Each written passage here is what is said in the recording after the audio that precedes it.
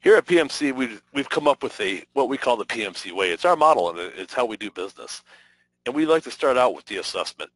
Uh, we conduct an assessment. We create the baseline for the clients, uh, and we look at the different processes in their workflow, their workforce, the technologies. We work with their IT environment platforms, the operational excellence, environmental ergonomics, and the occupational health and safety management systems of our clients. At that point, we create a gap analysis for the clients look at their current business operations against the internal corporate requirements. From the gap analysis, we create an action plan. This may include some key metrics, uh, driver solutions such as customer satisfaction, supplier compliance, internal and external quality, cost reductions, ROI, and much more. And then we implement. That's really that's where the key comes in. We implement everything that we talk about. The actions defined from the PMC provides turnkey solutions. We provide packages, and we partner with our clients to implement the actions defined, along with creating risk assessments for both ways. And follow-up. Follow-up is always important. PMC will partner with you forever. Once we do for you, we continuously call. We continuously stay in touch with you to see how it's going, to see if everything we've implemented and everything we've recommended is working. Do we need to do more? Do we need to change our plan? But follow-up is always a key. So we don't just do a one-time project and walk away. We, we like to be your partner forever. PMC is a full-service industrial engineering and consulting firm. We provide process improvement services, software to manufacturing and service industries utilizing our solid mix of experience, knowledge, and creativity. PMC finds and designs ways to improve the quality, efficiency, and productivity in the manufacturing and the service industries. Some of our specialties in consulting services include advanced manufacturing, material handling, facility layout and design, CAD services, 3D modeling, laser scanning, industrial engineering, simulation modeling, and we do program and project management for nearly every type of project. We also have a staffing arm and a training arm. We look at the advanced manufacturing and some of the things that we offer in the industrial engineering. We offer work measurement through MODAPTS, through MOS, through MTM. We offer labor analysis and scheduling, ergonomic studies, Six Sigma services, line balancing, layout analysis and optimization. We also provide simulations. We increase throughput, capacity verification, enterprise profit modeling, waste reduction, constraint management, WIP inventory, direct and indirect labors. All right along with that comes the lean manufacturing. So standardized work, once again, going back to time studies if we need to, or we can create work instructions for you. Process, system simulations, we do value stream mapping, uh, workplace design and ergonomics, workplace organizations through 5 and 6S, waste reduction, SPC errors and mistake proofing, visual management, problem solving, and we also create team concepts. PMC specializes in material handling, every type of material handling, handling densities, uh, resource allocation, production planning, flow, indirect labor, Kanban optimization, material displays, line-side displays. We do it, as I said, in digital engineering and CAD services. We include installation drawings, layouts, scannings, conversions, 2D and 3D design. We have a supply chain management, advanced planning scheduling softwares. We do network optimization, risk management, finite capacity scheduling, inventory reduction, material flow, and layout optimizations. Now we're going to get into this a little bit deeper. Through the production control and, uh, and material handling, we look at our layout. The overall layout showing a warehouse, showing staging areas, routing, aisles, monuments, docks, detailed layout, diagrams, 2D and or 3D, station by station line design, summary of the material handling equipment and other requirements which you really truly need as compared to what you might have. We do a static dock analysis for a future state dock analysis. We include labeling inbound and outbound so that you always know how big, how much dock space you need. What do you need there? What's going to be there at what times of the day? The storage analysis, we look at the future state storage space requirements. Material flow, we look at part delivery sequence, aisle congestions, material handling equipment, and even the manpower. We offer the work measurement through MODAPTS, through MOST, any, through any type of time and, study, time and motion study. We have a labor analysis. We do labor scheduling, workstation design and optimizations, ergonomics, Six Sigma, line balancing. Some of our material handling activities, you know, how we go about it, we start out by building what's called a PFEP, the plan for every part, which is a database. It's really your roadmap to all future material handling we look at the material displays and how are they displayed. We look at the kitting, we look at sequencing, any sub-assembly areas that we have to look at. We look at the delivery route, the designs of those routes, the workload balance amongst those routes. We look at the dock and the storage analysis. And once again, we go, we'll go through this. We'll, we'll put it all in the laser scan in a 3D model for you. We do. We also do facilities and equipment, which is something that, you know, often people forget about. That if we, we change everything, if we change your flow, we change everything about it. We need to look at your facility. Is it going to accommodate the new flow? Do we need to make those changes? What recommendations can we make to you? As we look at the laser scanning and the 3D services, you can kind of see what we have here. If you look over on the left, this is actually a point cloud. It's a laser scan. It's a laser scan of a pad. Over to the right is the model of that exact same pad. Now, had, if this were the actual programs that we utilize, I'd be able to show this to you in 3D. But this is actually PowerPoint that we're looking at, so I'm, a little bit limited as to what I can show you. But you can see the concept here. You can see that where the take the point cloud and then we design it, we, we put it into the to the model. As the model is, we can take that pad out, we can add a new pad in there, we can move the staircase, we can do anything we want to it and completely change it and show you in the same space exactly what will fit, what the dimensions are, and how we're going to get it in there. We've scanned over 100 million square feet of manufacturing, and we're experienced in Autodesk Factory Design Suite and Siemens Factory CAD. We're more than just a scanning and CAD. PMC employees on the average, we have more than five plus years experience just working in the manufacturing plants doing scanning, which is pretty good considering how young the whole scanning services of 3D modeling really is. We have dozens of complete factories. Hundreds of smaller projects have been completed by PMC. We do projects of every possible size, from the smallest to the biggest. Over on the left, you can see our laser scanner. It's, it's not much bigger than what you might consider a 1980s VHS player. On the right, you can see the point cloud. This is a point cloud of a actual door line what, utilizing this point cloud, and once again, if we were in the soft, proper softwares, I'd be able to show you the measurements. I'd be able to take stuff out. I'd be able to put stuff in. We can show you exactly what we have here within these point clouds.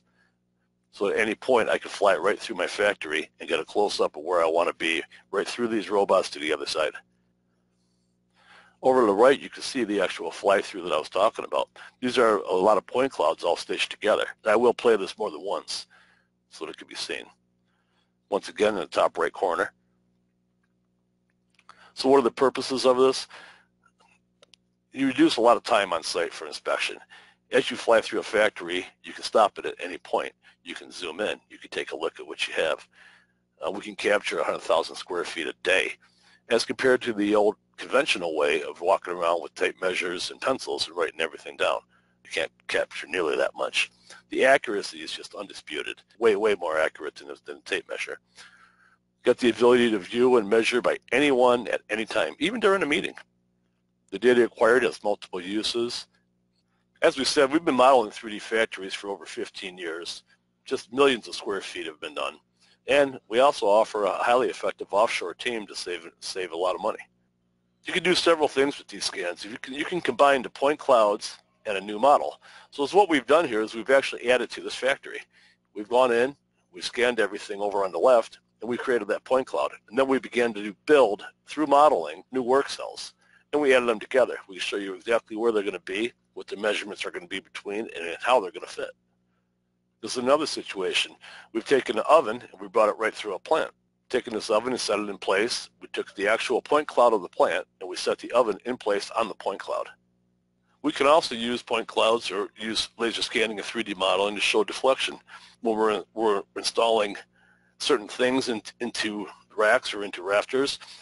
You can actually see where you're going to have deflection at what the issues are going to be. And we can correct that issue before the material is ever sent. Therefore, when you bring the material in, you only need to bring it in one time.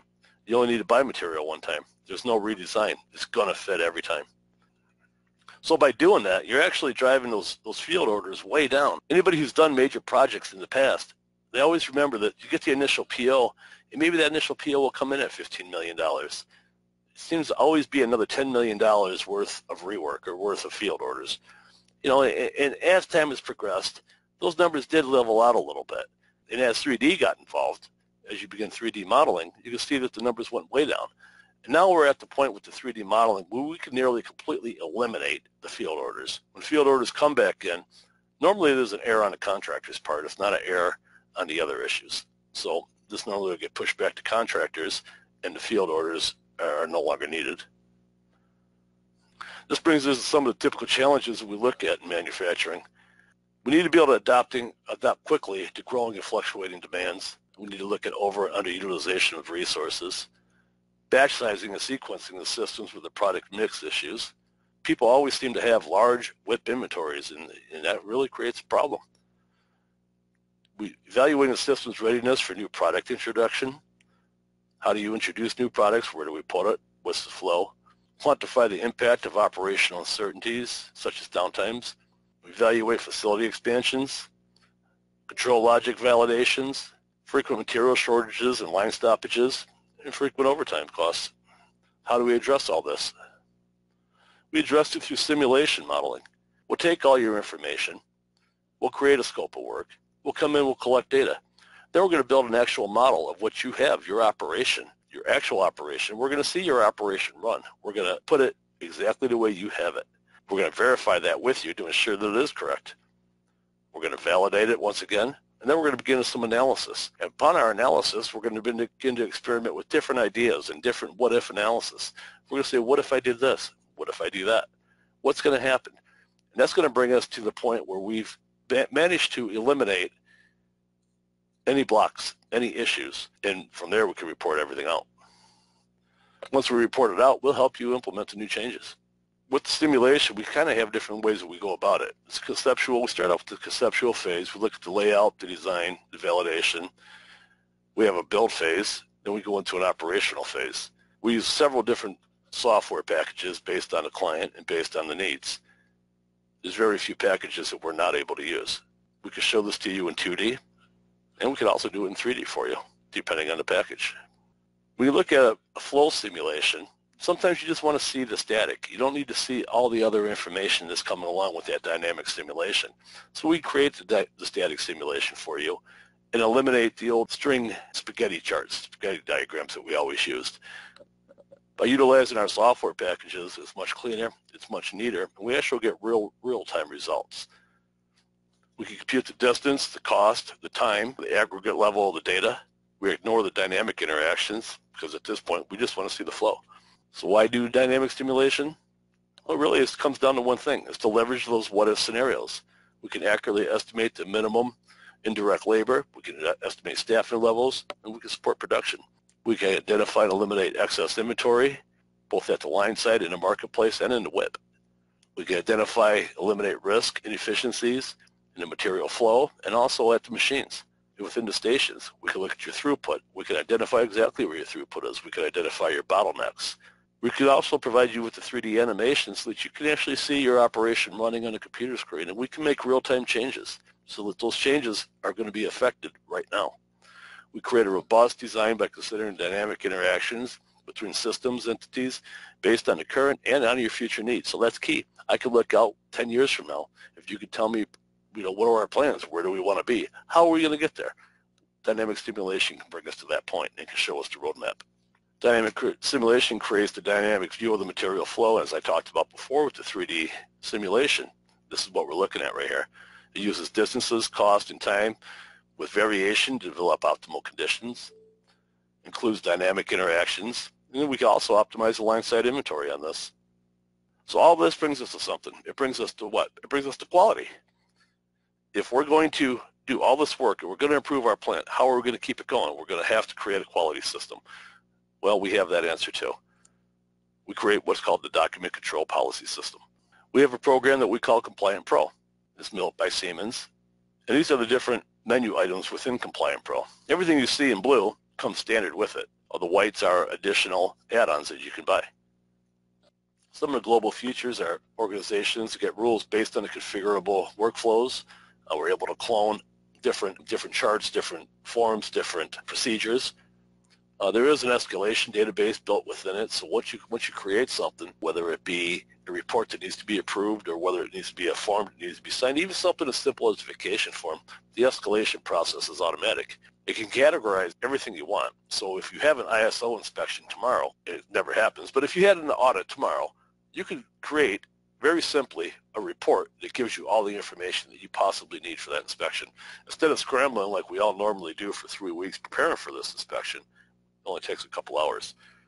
So how does Compliant Pro address some of your pains? It's a flexible framework for creating all compliance documents. It enables users to acknowledge updates. It manages requirements throughout your compliance cycle.